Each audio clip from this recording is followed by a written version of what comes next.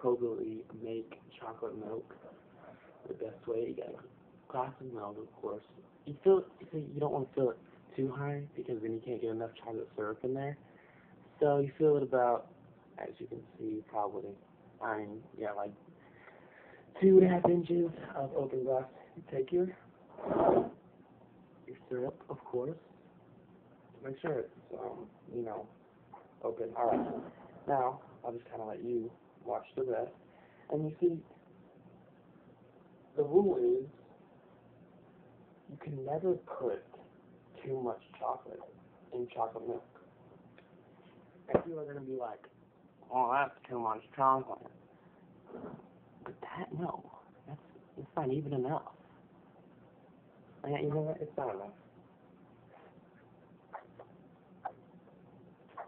There we go.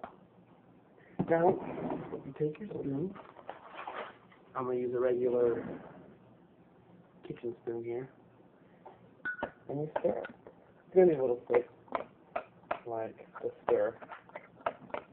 Mmm, look at that chocolatey goodness. And the thing is, you don't even have to stir it up all the way. Leave some chocolate in there, you know? Leave some chocolate. Just swimming around at the bottom. Mmm, perfect. And that's when you know we're going to have some good chocolate milk. Mmm.